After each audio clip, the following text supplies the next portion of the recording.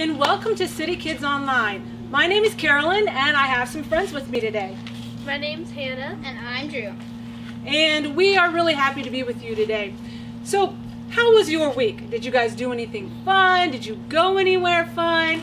Hey Drew, how about you? Did you guys go anywhere fun or do anything? Uh, well, I had friends over at my house, so that was pretty fun. What'd you do? Uh, we had a Nerf war and we played basketball, we played Legos. Did you win?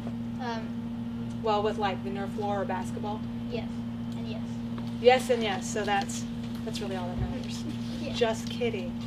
Hannah, what'd you do? Uh, well, today my mom, dad, and I drove to Woodland because uh, HomeGoods opened, and we got me an egg chair. What is an egg chair? So it's basically a chair. So it's basically a swing for a room, and it's shaped kind of like an oval egg shape. And then you just sit down in it, and you can like swing back and forth. So you're gonna like read and stuff in that? Maybe. Okay, fun. Fun. Everyone likes egg chairs. I know what an egg chair is. I saw it. You know an egg chair? Kenzie knows what an egg chair is. So it's gonna be awesome. So today we are gonna do something a little bit different than we do a normal City Kids video. We are gonna have some fun. So right now, we have, if you've ever seen the Mentos challenge, we've done this, or you can see it like on YouTube and stuff. But we have some Mentos and we have some soda. So what Drew and Hannah are gonna do today is we're going to put them together and hopefully uh, have some fun. Hopefully, we will see this uh, kind of shootout. We'll see what goes on. So, beforehand, though, Hannah and Drew both chose their soda. So, I want to know why you guys chose the soda that you chose. So, Drew, why do you think your soda is going to go higher than Hannah's? Um, I think it's gonna go higher because every time I've seen someone do this, it's been with Coke, and it's always looked really cool. So I'm going with the original. Going with the original. I like that. How about you, Hannah? Well, this has more sugars than the Coke, and I've also seen a bunch of YouTubers use uh, Mountain Rush and Mountain Dew. And it's green for And it's City green. Kids. So, Yeah. So. sorry, Drew. I'm rooting for this. You're for. out uh, of luck. Oh no! Oh no! I'm rooting for this. So let's do this. Why don't we have some lovely people coming up? They're ready to cheer us on. So who do you guys think's gonna win? Is it gonna be Drew or Hannah? Drew! It's him. Hannah! It's All right. Drew. So what we're gonna do is on the count of three, they're gonna throw in some Mentos, and we're gonna cheer them on. But they're gonna get ready first. We're not. Go ahead and get yourselves all set. It's a little tricky sometimes. All right, Drew, are you ready? No. Just kidding. Hannah, are you ready? Yes. I guess. All right, so on three, we're gonna pull it off. Mm-hmm. Ready? Cheer 'em on. Ready? One, two, three.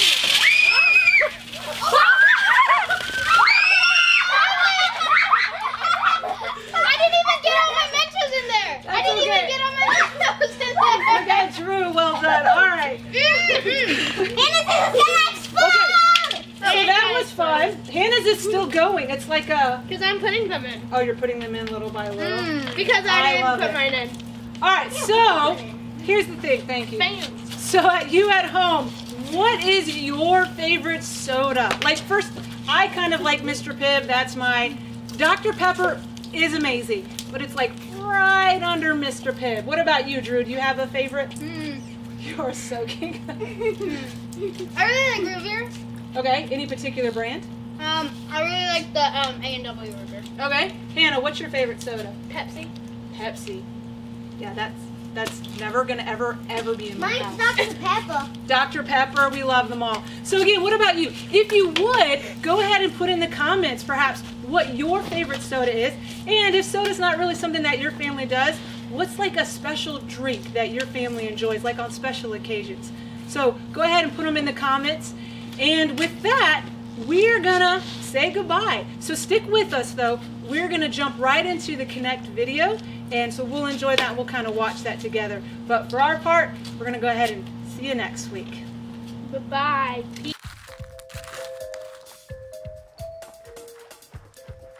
Hey, Luke. Hey, Harper, are you wearing a mustache? No, I don't. Oh, I guess I am.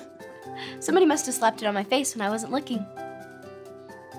Well, I found a mustache on my face, that would completely ruin my day, but you don't seem bothered at all. It's not that big of a deal. Here, try it out. You know, this is a code violation 2864. You look like a grumpy dog catcher. Mm,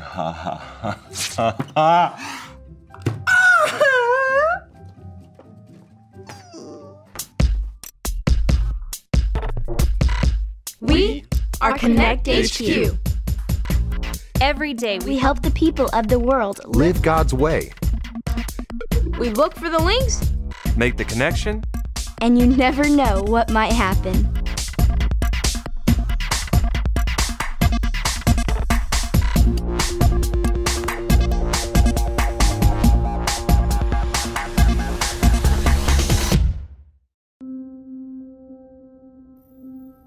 My name is Alyssa, and this is how I made it through a horrible day.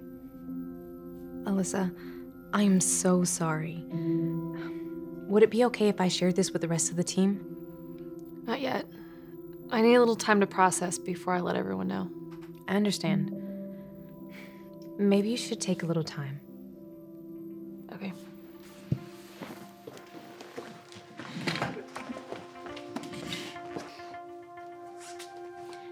Alyssa isn't her usual bouncy self. Yeah, is everything okay? She just got some bad news. What is it? Well, she asked me not to share it just yet, but you can be praying for her while she's going through a hard time. Maybe we could think of a way to cheer up today. Yeah, that's a great idea, Harper. Yeah, I'm sure sharing some amazing stories about the memories that you guys have together would really help her out today. Oh, I can use your help with this too. Hmm. Okay. Dear Connect HQ, some neighborhood kids of mine wanted me to throw rocks at windows, but I said I wouldn't. When they got caught throwing rocks at windows, they blamed it all on me. Now I'm grounded for three months. My parents are so angry at me. I didn't even do anything. This is horrible. What should I do? Troy in Pittsburgh. That isn't right. Troy shouldn't be punished for something that someone else did. It's a tough situation. I mean, he can't tell those neighborhood kids to tell the truth. Yeah. Well, maybe we can find some links that'll help him to let him know that no matter what happens, good or bad, he can use his story to give God glory. Even a story like this. God can use any story, even the hard ones. I'll find a verse link to help Troy. Yeah, and I'll uh, look at a Bible link. Thank you for your hard work, team. You got it, Captain.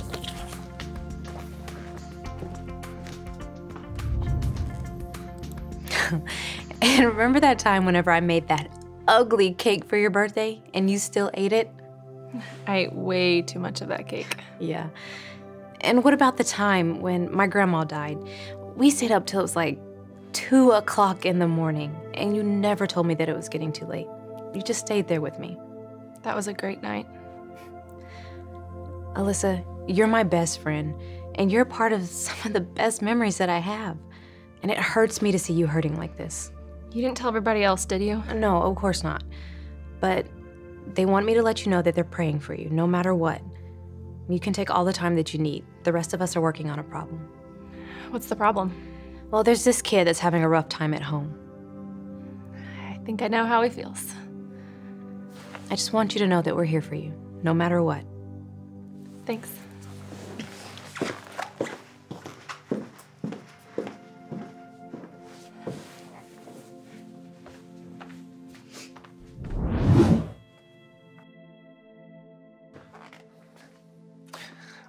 Alyssa. I, uh, made you something.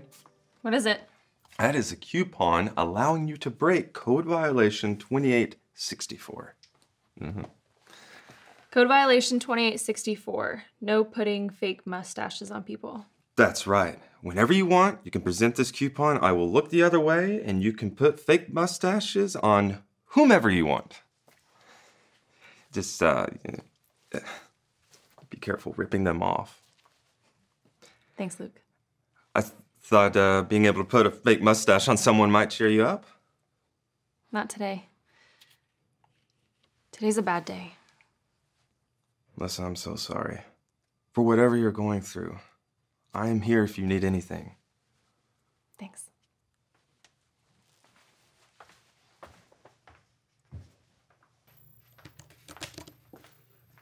Oh, hey, Alyssa, you'd be the perfect person to help me with this.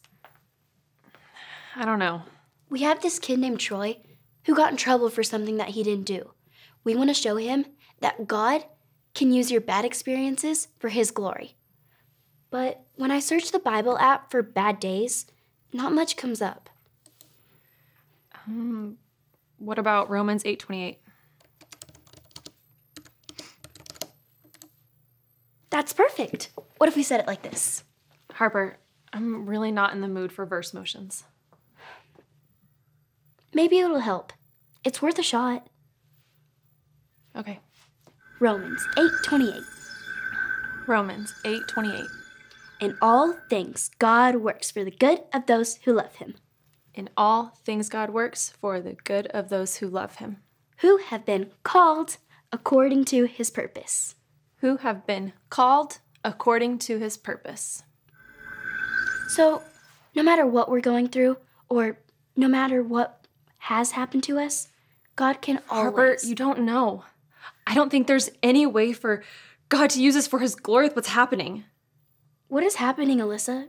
You can tell me. My parents are getting a divorce. And I'm so hurt and angry, but today is just horrible, or it's a horrible month, or a horrible life. I just don't know if it's ever gonna stop feeling horrible.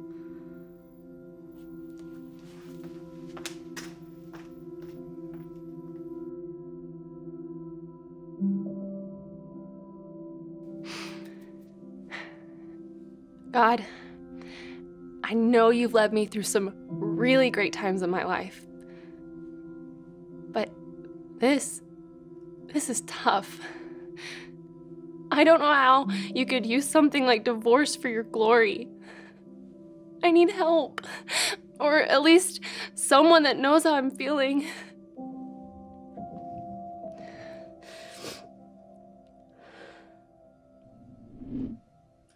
The Bible is full of amazing stories of people who are facing a hard time and then God using it for his glory, like Job and David and Peter. Actually, I think I found the perfect link to help Troy see how God uses our experience to tell our own amazing story.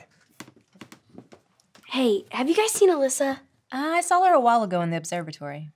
Hey, check it out. I think I found the Bible link. This is his 66 picks mixed up into one. The books about God, who he is and what he's done. It's the Holy Bible, y'all, with God's truth packed out inside. It's alive, a prize to hide in your heart and in your mind. Old Testaments are set up for the big event. When Jesus crashed the scene with a new arrangement. It's history, his story, whose story, God's story. Loves me. Let him blow up all the let show go. Let his word explode from this video into your life. Jacob had 12 sons, but he loved his son Joseph the most. He gave Joseph a special brightly colored coat. Joseph's brothers were jealous of him. They hated him. Joseph also had special dreams.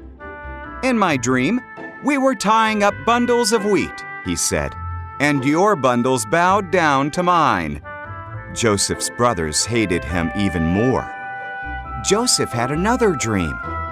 The sun, the moon, and 11 stars bowed down before me. His father and brothers grumbled. Are you saying you will rule over us? One day, Joseph's brothers were in the fields watching their sheep. They saw him coming to see them. They planned to kill him and put an end to all his dreams. It would be wrong to kill our brother, said Reuben. Let's throw him in this empty well. So they tore off Joseph's special coat and threw him into the well. Ishmaelite traders came by on their way to Egypt. Let's sell Joseph as a slave to the Ishmaelites, suggested Judah. So the brothers sold Joseph for 20 pieces of silver. The brothers dipped Joseph's coat in goat's blood and showed it to Jacob.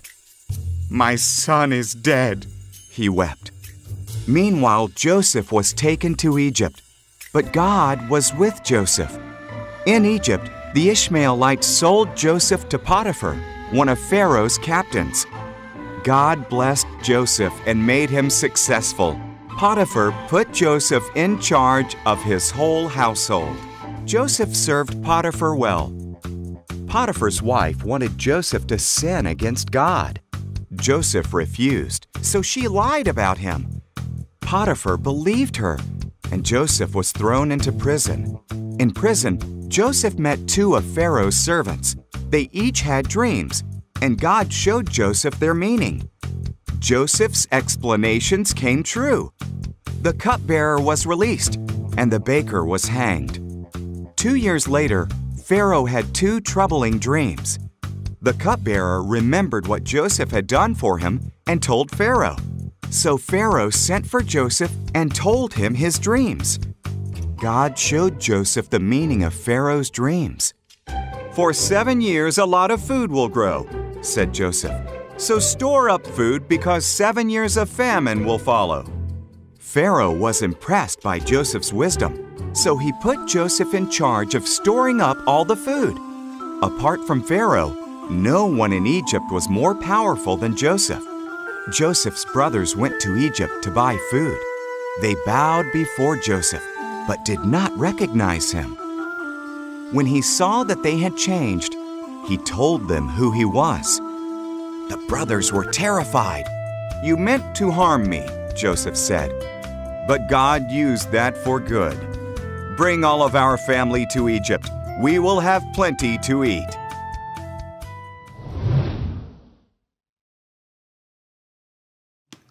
Wow. Can you imagine being sold into slavery by your own brothers? I can't. And Potiphar's wife lied and had him thrown in prison. That's like Troy's problem. God used all of Joseph's awful experiences as a chance to grow Joseph's skills at leading others. Yeah, every step, even the tough ones, led Joseph to be a mighty man of God. We found all of our links. Well, let's get started on a connection transmission for Troy. I'll catch up with you guys later. There's something I need to tell Alyssa.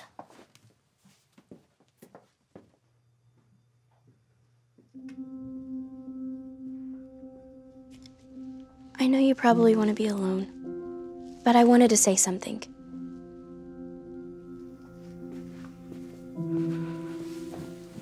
It might sound weird coming from a kid, but I know how you feel. Really?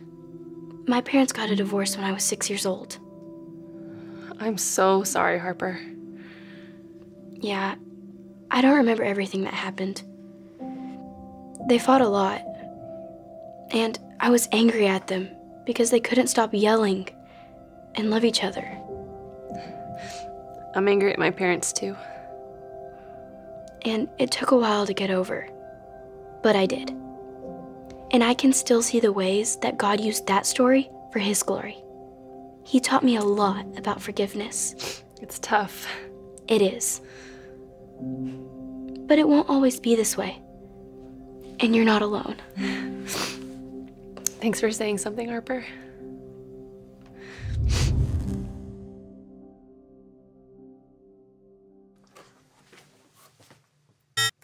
The Bible link is the story of Joseph, the dreamer.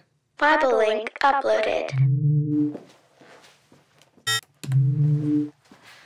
The point link is use your story to give God glory. Point link uploaded. Ah, I think Harper has the verse link. Where is she? Here I am. The verse link is Romans 8:28. In all things God works for the good of those who love him, who have been called according to his purpose. Verse link uploaded. And I think I've got the Live It link. God will lead me through the good times and the bad, even when I'm faced with something like divorce. Live it link uploaded. Connection complete. Okay. I'm going to send the transmission for Troy. Oh, I was hoping I could do it. I can relate, and I think it might help take my mind off things. Sure thing.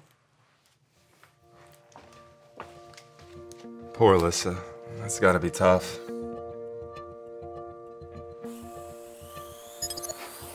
Hi, Troy. I'm Alyssa. We found these links for you. The Bible tells us this in Romans. Romans 8:28. In all things God works for the good of those who love him, who have been called according to his purpose. Sometimes it's easy to see how God is working, but when things are tough, sometimes it seems like there's no way that God could use those bad things to do something good in your life. Today, my friend Harper showed me that I can bring glory to God by using what I've been through. It also helped me remember that other people have been through really hard stuff too, and God heals it all and uses it all. What you're going through sounds tough, Troy. I'm sure you're hurt and angry. But no matter what, God is with you, and He knows who you were made to be. We have to learn how to praise God in the good times and the bad. Use your story to give God glory. I hope this helps. I'll be praying for you. And remember, Connect HQ is here to help you. Lisa, I'm so sorry to hear about your parents. Thanks. But you know, there is something that would make me feel better.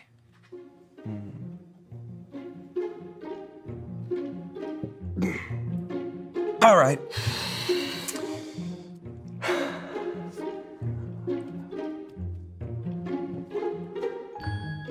You kind of look like a sad uncle. It's actually kind of bumming me out, so I'll take it off. Uh. When we trust and follow Jesus, we can have faith that God can take our bad experiences and use them for His glory. If you've never had that kind of faith or decided to follow Jesus, you can make that decision today. All you have to do is remember the ABCs. A. Admit. Admit that you've done wrong and ask God to forgive you for disobeying Him. B. Believe. Believe God sent Jesus to take the punishment for your sin. Trust that you're forgiven because Jesus made you right with God. C. Choose. Choose to spend your whole life depending on God's power to help you say no to sin. As you live and love like Jesus, tell others God is your leader and number one friend. If you want to make that decision today, be sure to talk about it with your Connect small group leader before you leave.